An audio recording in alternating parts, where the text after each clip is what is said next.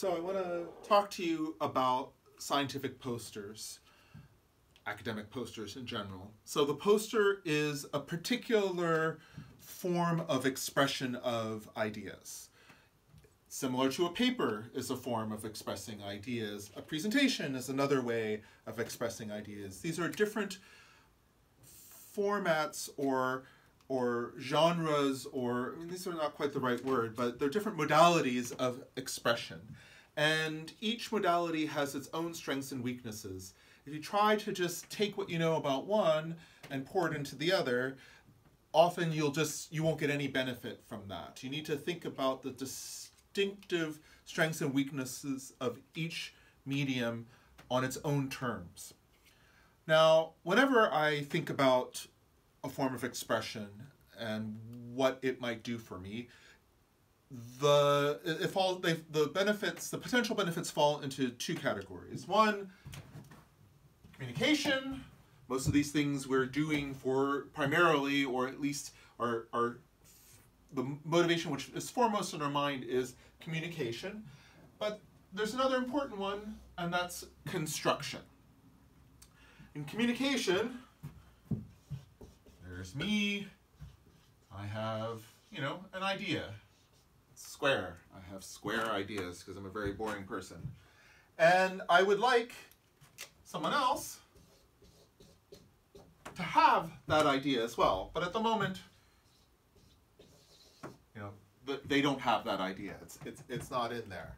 And so the way that I get it from me to them is I create a physical, external, tangible expression of the idea. Let's say a poster. Now, inevitably, the translation from things in my head to things on the page are going to look a little bit different. Their, perfect fidelity is never possible. But at least in principle now, from my thoughts to the page, from the page into theirs in some form, maybe with some loss or issue.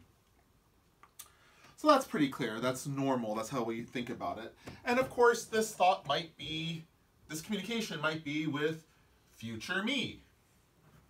But the key notion of communication is transmission. You're taking something that potentially you think is well formed, fully formed, developed, and you're trying to convey it to someone else. Something of a simplification, but good enough for government work here. And the construction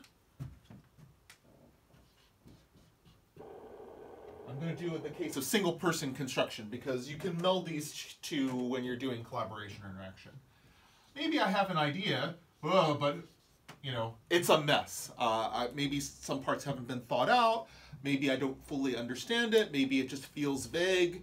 I'm sure you've had that moment where you say, I have this idea, but I, I, I can't say it. Um, so what we do is we try to put it on paper in some form, some external tangible representation on our whiteboard. And when we see that, when we see what we've, what we've done, that tells us something about our idea and about our expression of it. And maybe this was just the wrong thought. Now notice in this case, we don't already have a thought that we're trying to get someplace else. The thought is wrong. And by making it physical, it helps us realize and think through that the thought is wrong. So then we try again oh, maybe, maybe it's circular. No, no, no, no, that's wrong. The circle thought is wrong. And then we get to finally, oh, a square. And now that's the right thought. And that's the thought we wanted to have. Now, of course, this expression might then serve well as a communicative artifact Maybe it doesn't. Maybe it only makes sense to me. Maybe it only helps me come to the realization and I still have to do more work. But often these are one and the same thing. And that's the point of posters in the symposium. The point of us having you do posters in the symposium is dual.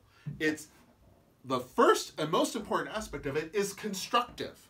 Okay, there's a little bit of, you know, you'll be doing posters in the future, so you should have your first encounter with it, blah, blah, blah, blah. That's not actually as important because without knowing why you would ever want to do a poster, without going through the process of doing a poster usefully, the fact that you have to do posters in the future, just you won't get any benefit from doing one now. If you're just doing the tick box, tick box poster thing without any thought or effort or understanding, then you will get no benefit out of it. But the first and most critical thing is for you to crystallize your ideas, or at least to start down that process. This poster, if you're in your first year, this poster may not get you to a fully crystallized thought because you have a lot more to think through, a lot more to learn, more background, more discussion. It's just a starting point, but it should move you down the line.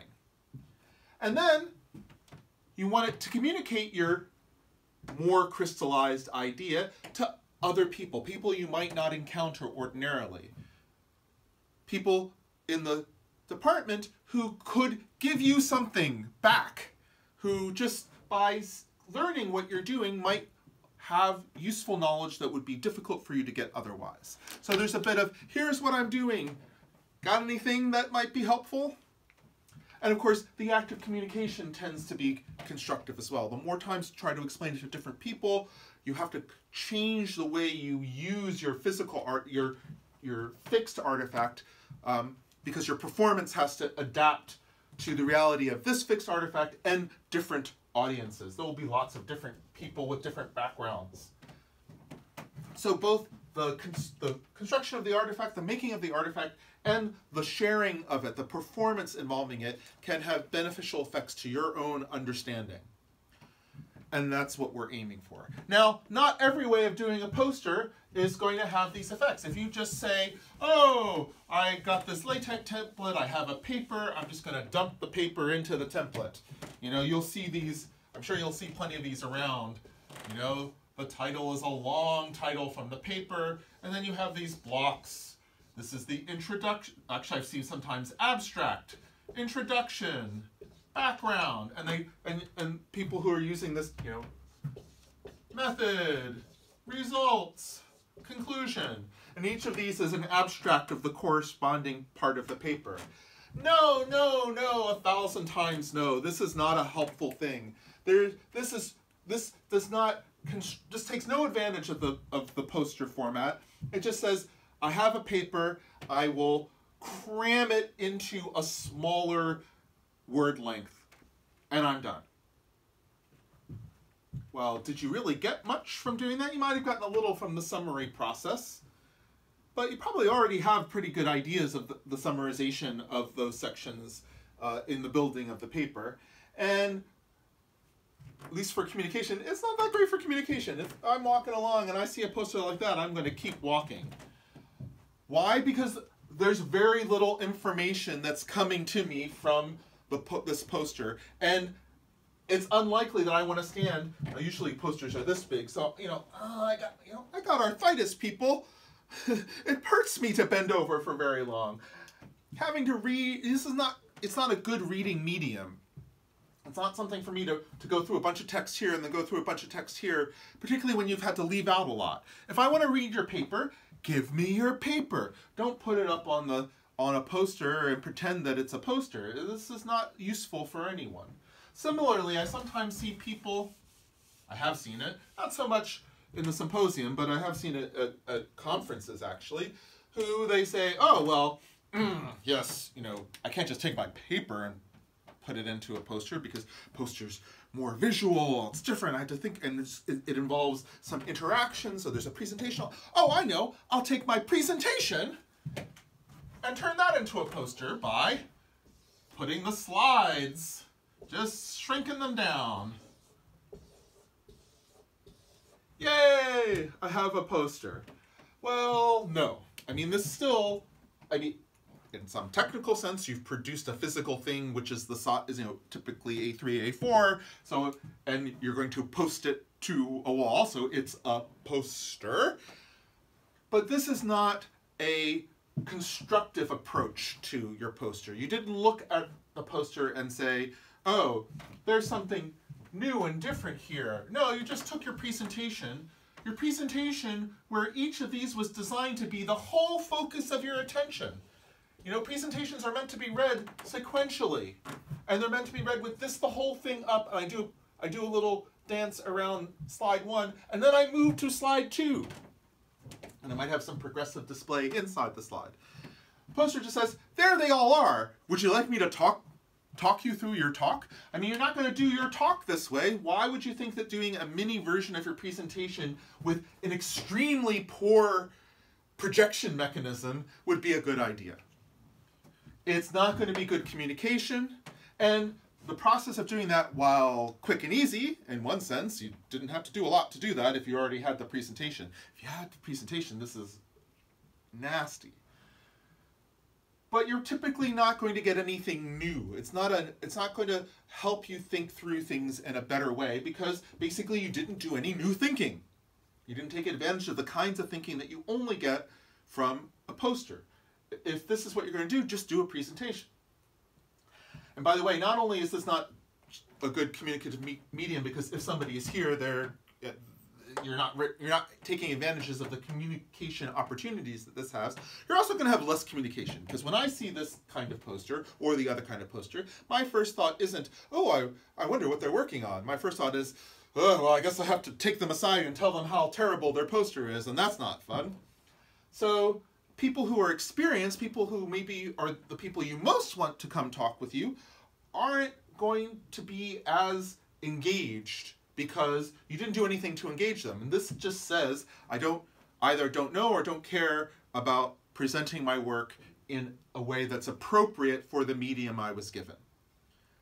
And for people who aren't very experienced, then they're not going to get you much anyway because you can't really take them through this in any useful way. You might get, yeah, oh, huh, or if, with a big text one, they might, oh, that's a lot of text.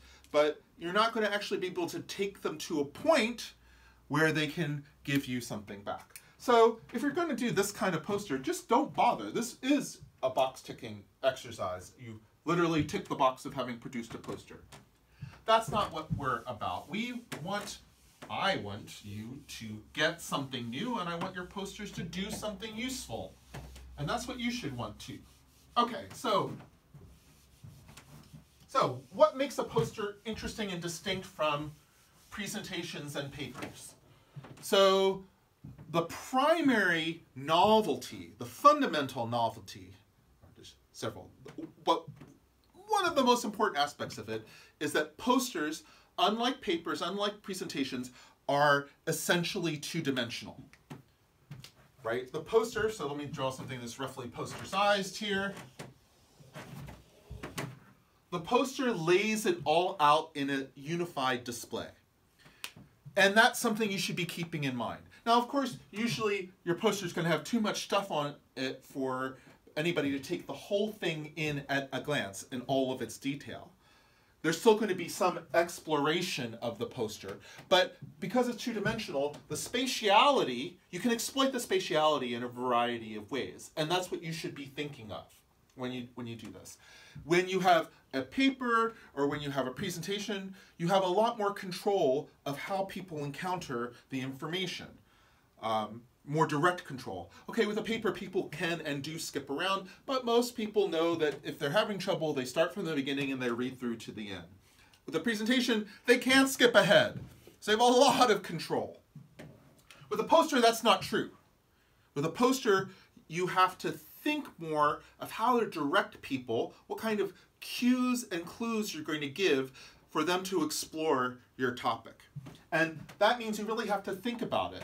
Now, the first thing that you should be thinking about, oh, so that gets to the sec, sorry, gets to the second fundamental uh, feature of posters, right?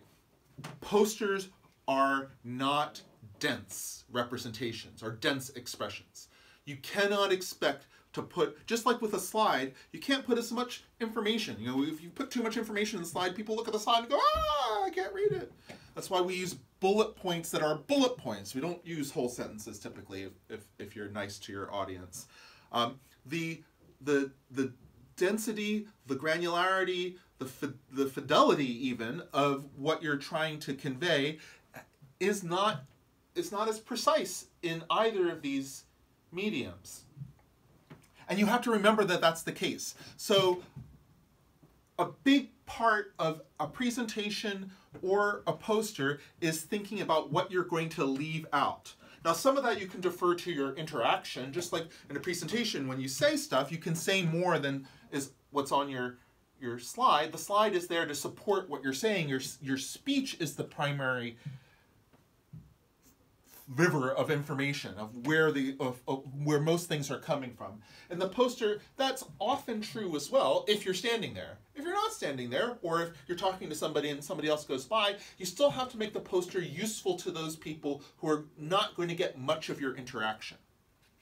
So that's very important. The poster needs to work at a high level of extraction at a big chunkiness level.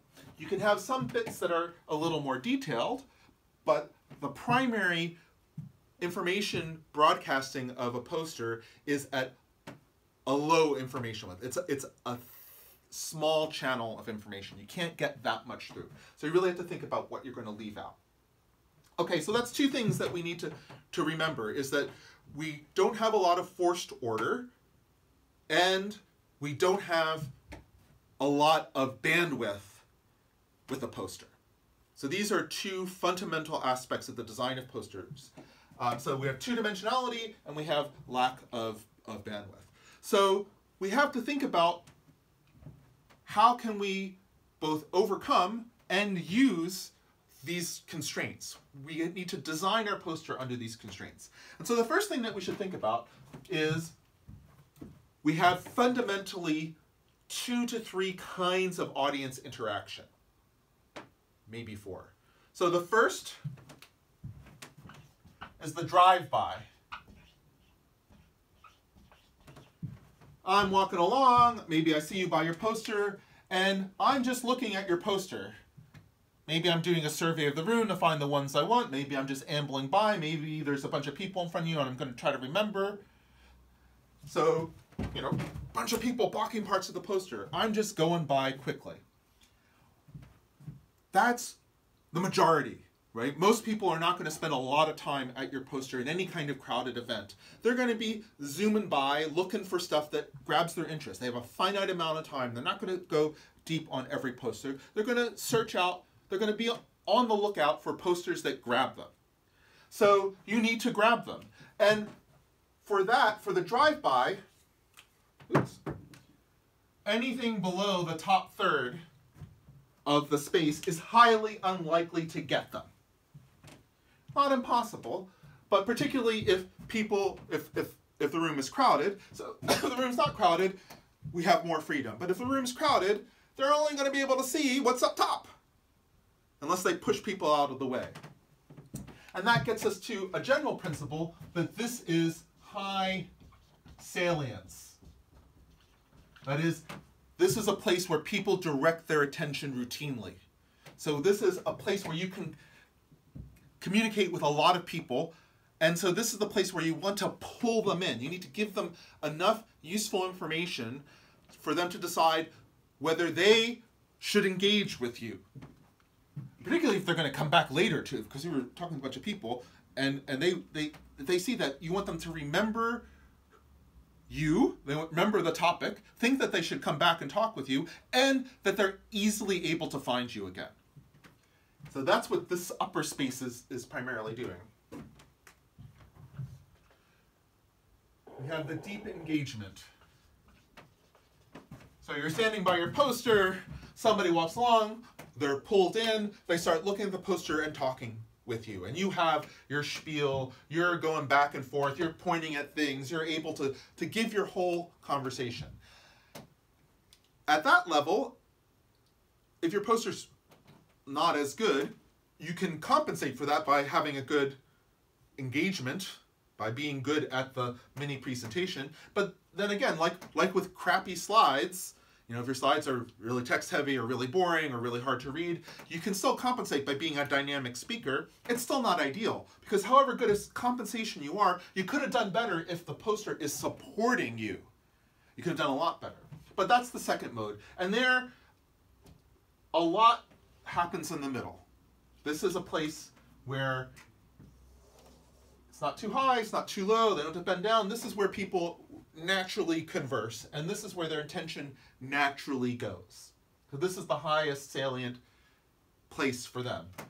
Down here, super low salient. Particularly the poster's low and you're dealing with people who aren't of, a, of whose height puts them well above that. If they have to bend over, it's not going to be that helpful. So the real way to think of this is something I can see from a distance. Where am I at if I'm at eye level, roughly speaking, or a little bit below? These are the high things. And then this is engagement. So you have two, at least two people here. And then there's the deep solo. You've gone off to get food. Somebody comes through and they sees your they see your poster and they need to engage with it. So there's almost and they want to get something from it. So there's almost no interaction. So what the poster says is what the person gets, and that's it. These are three fundamental modes of interaction. If your poster is going to end up in a hallway, it has to really support three the most. If you're in a conference or like if you're going to go to the uh, postgraduate summer showcase, summer research showcase, or at the symposium, these two are what you should be thinking most of, because the posters are only really up for the interactive session. You need to catch real people in and then give them give them what they came to hear. So if we, so now we have some ideas of that different regions of the poster, the physical poster, have different potential values and that we should be thinking for each thing that we put, what are, any, what are these two people getting from it? So if, if you're thinking about your engagement, how are you using it? So if you're going to put something down here, you better make sure that it's high value enough that you you can draw people's attention to it. Conversely, you can put it down here because it's only of interest to a relatively small number of people, and they're going to be strongly motivated enough that, that they'll spend the time looking down here. Conversely, you want this to be even lower bandwidth because people will be taking it on the fly, so you need to convey a lot in a little. And what I sometimes see is people having, you know, a title that goes like this, one line, two lines, three lines, four lines, and then a whole bunch of text, which is who they who, eh, who there are and the 15 supervisors and RAs who are also working on the project. No. There's two pieces of information that you want to convey up there. You want to convey the, your project is cool, so what it is and why it's cool, and who you are. If, this, if the smallest part of this is your name, then you've missed communicating some really important information. Don't do that. Make sure that your name is clear, distinctive, available. I always ask you who your supervisors are. And make your title short, clear, engaging. You can put some images up here. Sometimes it's nice to have something that, that if you have a good logo or if you have a picture of something that conveys the excitement, then that can do it. But really think of yourself as you basically have one line. You want this text to be big. You want this to be easy to read. If you can't clearly read it as you walk by the poster in the three seconds that it takes you to saunter past the poster, then you you probably don't have a good title. If you're using a lot of deep technical words that there's no hope of the majority of the people wandering around knowing, then again, what are you doing except saying, go away, I don't want to talk with you. So try to make this section engaging. Now, so, and we can put that up a little. So let's just say the title, oops, that, that was fun. So we have the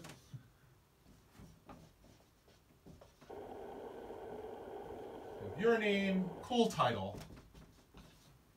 Okay. Note that having a cool title doesn't mean that it needs to be a gimmicky title, right? Sometimes people have funny puns or something like that, um, cool questions. That's okay, but it doesn't substitute for something that actually is communicative. A slogan about your work is good. Um, I think that, so, you know, anything that kind of gives you a, a hint at what you're really doing, uh, I think is, is quite good. Not easy, right? I'm not saying any of this is easy, but you should think really hard. Can you distill your project into four to seven words? That's hard, and, and, and still have it be intelligible. That's really hard. resist the temptation of long explanatory subtitles. That's typically not good. Okay, so now we have a region. So we've, we, we have our marquee, our, our, our headline, our, our, our attractor. And how do we make use of the rest of the space? So I tend to think of roughly two general layouts.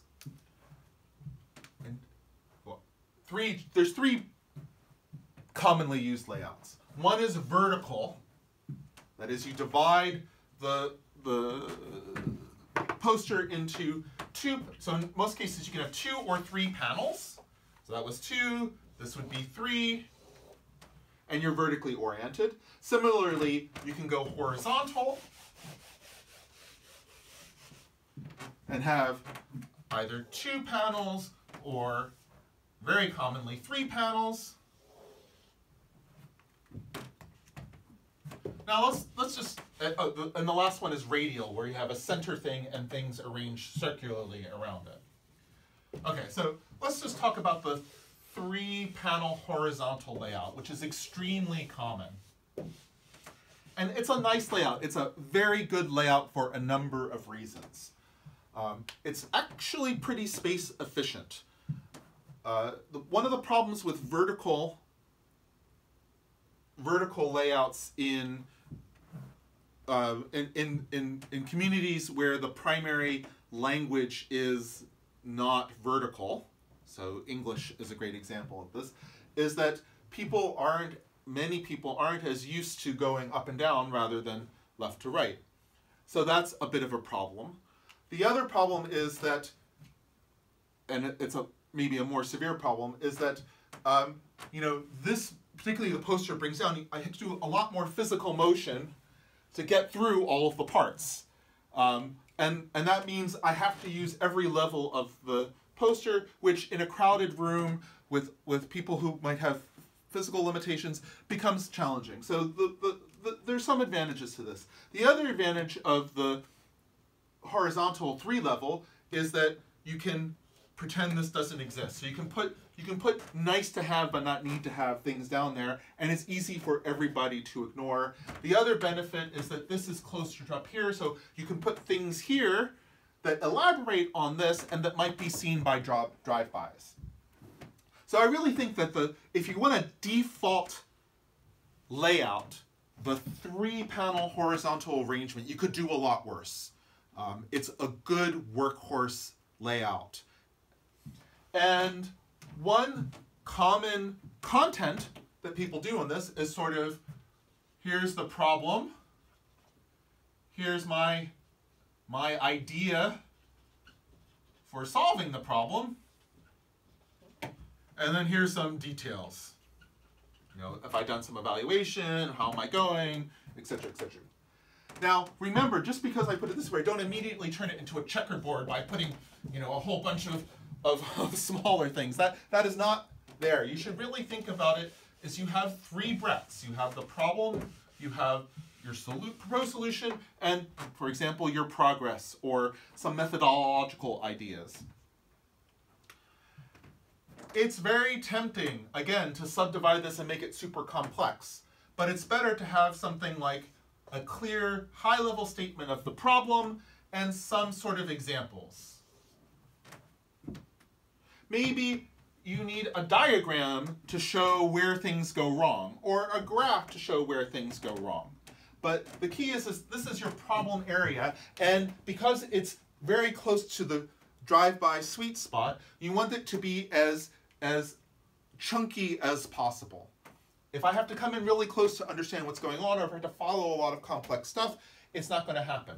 So inside this panel, you can have a statement and then elaboration. Similarly here, solution. What's your slogan for the solution? And then elaborate here. This, particularly for the deep interactive, is the sweet spot. The middle is where people spend a lot of time, naturally. That's where our attentions go to. We orient, we look towards the center. So this is one of the high salient areas. Here, it's okay to be to be a little bit choppy because you're, you're you can think of this as closer. I mean, not ideally, not particularly if you're supporting three, but a lot of the time this can be where you put your backup slides, so to speak, or backup information, some detail. But if I just, so on that model, if I see this much, I've got it. I've got what what you're tackling and how you're tackling it. And that's how you should test it. You know, show it to people. Do they do they understand what you're tackling? Do they get what your proposal is, what your mode of attack is? That's all assuming you're talking about a particular paper or your project as a whole. I'm a I radial ones can be super fun, but again, these are ones that you need to kind of proceed in, with caution because they don't really have as natural a structure. You have something in the middle, and then stuff stuff coming off the sides, often little little side bits. As I said, this can be really interesting, particularly if there's a lot of traffic, because people see this and then they see that. And these two things immediately convey a lot and get them into it. Again, you have to make sure that the project that you're trying to describe, the thing that you're trying to describe, you can make it fit usefully into this mode. So, you know, one thing that, that some people do is that they, they put this as, as a central thing and then they try to have kind of problem solving stages. So this is what I did first, this is what I did second, this is what I did third, this is what I did fourth. Not such a great idea because again, understanding what you did in order, uh, uh, maybe I should be looking to what you've done last because that's where the you know current state of the situations are. And so, but you but the highest visibility of the periphery is here, and so that's like I'm already oh that is this the thing that didn't work? So maybe not so so useful. On the it, it, it is quite this probably should be where you put the kind of most interesting and important thing but they could be different aspects. So this is you know one way of tackling the problem. This is one way of evaluating what you're doing there. Um, in general you want to try to figure out how to take your spatial arrangement and map it naturally onto your logical structure so that people can use the spatial arrangement to navigate through your through your work don't do the vertical unless you are consulting with somebody who has a really good idea for how to do the vertical. Um, I would, I would be more comfortable with people with you trying for the radial before I would be comfortable trying for the vertical. I think the vertical is really hard to make work. The radial, I wouldn't I wouldn't go for it unless you have an idea of how you're going to interact with it because this is a really good one for for for exciting interaction if you can make it work. But you have to really think through how are these things branches or views onto whatever you've talked about in the central. So maybe this is your your algorithm, and you're talking here about the complexity, and here about um, some implementation, and here about variance. I mean, that could work. But again, once you start thinking of it more linear, and you can't really think of it going any which way, it doesn't work out that well. So, in short, I recommend the three three panel horizontal as your starting point. Uh, I think that even if you eventually move to another one, first try that, see how it works out. Uh, and then once you have it in that form, you can think about, explore different transformations to see whether one of these other ones could happen. The radial tends to be less, even less dense than, than to support less dense amounts of information than, than either the vertical or the horizontal paneled approach. So you, really have to think about what you're leaving out there and, and whether that's what you want to leave out. So my final, so that's my initial general idea about why you want to do a poster and initial thoughts about how to think about making a poster. I'm more than happy to look at posters um, at any time or drafts of posters and to talk through it. The, the thing I will also say is that your weapon of choice for building posters should not be LaTeX. Um, PowerPoint or Keynote or some presentation software is actually how most people do their posters. And uh, it, though it pains my soul to say this, PowerPoint pretty much is the winner. It is um, it's pretty easy to use. Most of us have it. It's the they're all designed for exactly putting things into a 2D space. Sometimes the smart art can be super useful. Um, they have like organization diagrams and process diagrams, which which you can just pop stuff into and it and and it comes out really nice.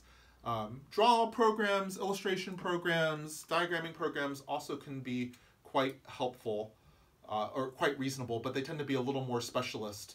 Um, if you have to do something to hone your skills, PowerPoint presentation skills and slide building skills works for posters as well. So you would be strengthening um, that ability as well. Yeah, I know it's it's it's, it's it feels wrong, but uh, the truth can never be too wrong. And and I think in the end, using using some sort of presentation software that really makes your life easy. You really should be thinking of it as a canvas, um, a 2D canvas, rather than almost any other kind of um, ordering. And most you know, LaTeX type things tend to think in terms of mm, order, you know, very strict order and box type approaches, and so not so very nice. Um, and that's it. Thank you.